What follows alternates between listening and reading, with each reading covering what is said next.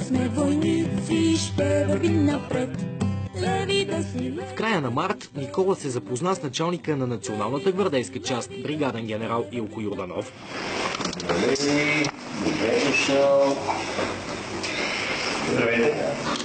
И разбра, че той ще му подари истинска гвардейска униформа. Няколко седмици по-късно Никола се върна в щаба. Крачайки смело напред и препасал любимата пушка, той изпробва новото облекло. Здравейте! А на входа го посрещна единствената жена в българската гвардия – младши сержант Гергана Иванова. Ще се качаме ли нагоре? Хайде, да ходим нагоре. Всички се възхищават на проявата на това малко дете, на възпитанието на родителите му спрямо него. Също така поздравяват и командира за тази инициатива. За мен Никола е дете с много таланти. То е уникално а, и това, че няма още навършени три годинки го доказва това. Още след първата си среща с генерала на гвардейците, Никола питал кога ще се върне пак. Още веднага, като тръгнахме в колата, го говори. Той е ясно, че прави силно впечатление. Той на гвардейците ни казва как е баткото. А след това искаше да ги гледа многократно. Сме ги пускали. Преди официалната проба през шивачите, предстои нова среща с генерал Йорданов. Докато шивачите на гвардията подготвят униформата за проба, малкият гвардеец се превръща в истинска атракция, а всички военнослужащи се надпреварват да го снимат. Когато за първи път вижда гвардейците, Никола се влюбва в тяхната униформа. През цялото време нали, а, ние сме го питали искаш такава униформа. И вече като му казваме, че получи униформа, виждаме, че нали, той той разбира и, и, и, и се радва. Радва се и на снимките, а след фотосесията идва ред на пробата. Здравей, Познавате тук, а? Ти познай ли ме, детиленце? За първи път правиме униформа за толкова малко детенце. Което всъщност не е никак лесно. Трябва да се направят по-малки самите детайли на самата униформа, но справихме се, няма никакъв проблем с това нещо. А Никола се отпуска в компанията на добрите лелички, защото вече ги познава. Все пак това не е първата му проба. След това дойдоха до вкъщи за вече с не в готовия вид, но униформата беше по-скоро платове, които някакси са скроени. Пробваха и продължиха да вземат мерките. Жените бяха много така педантични, гледаха, тук трябва да го повдигнем, тук трябва да... Като това има предвид, че си детето нали, расте всеки ден. Тях много ги харесва, в смисъл не, нямаше никакво притеснение, веднага посрещна ги, слуша и изпълнява. Като истински гвардец. Да. И първо бяха осигурени основните материали, от които се изработва гвардейската униформа. След като е готова, униформата трябва да се пробва.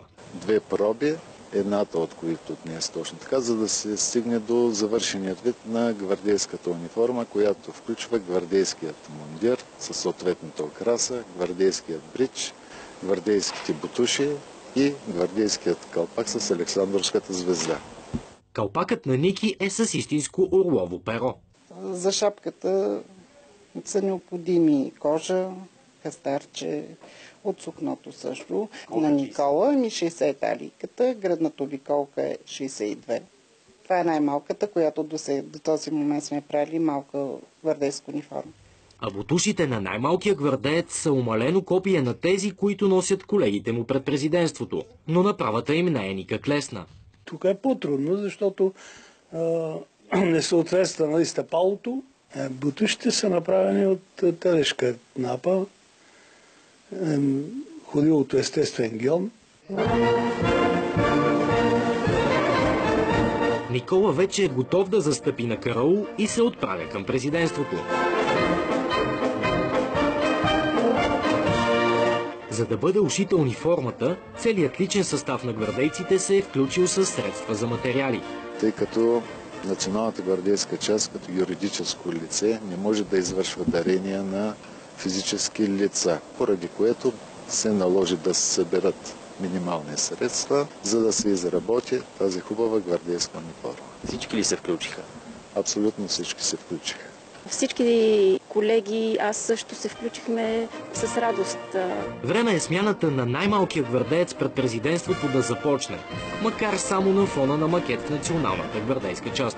Разбира се, това е просто тренировка за същинската церемония. За сега се предвижда униформата да бъде връчена в тържествена обстановка в гербова зала на административната сграда на президента на Република България.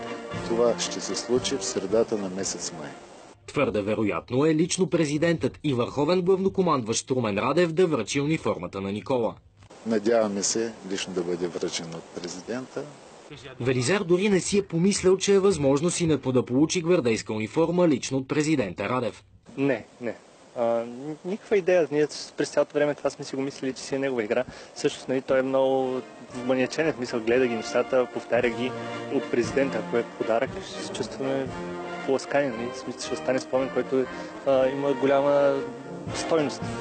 А, и смятам, че и той след време ще, нали, ще е горд да, да споделя тази история. За мен, като го видях сега с пробата, беше нали, как се почувствах. Щастие, знам аз. А, готино е, виждате детето с униформа, нещо като негова малка мечта, която си се осъществява. Мечта, която ще се сбъдне съвсем скоро. Днес Никола за последно пробва суровия вариант на униформата, но си тръгва без нея. Такива неща рядко се случват. Да видим деца като Никола, които проявяват интерес към чисто националната ни принадлежност. Пожелавам след години да се видим отново и да стане част от традициите на националната гвардейска част. До тогава Ники ще носи най-малката гвардейска униформа, правена някога в България. Ще отдаде чест на президента и ще застане на пост до своите бъдещи колеги. За България сутрин Димитър Димитров.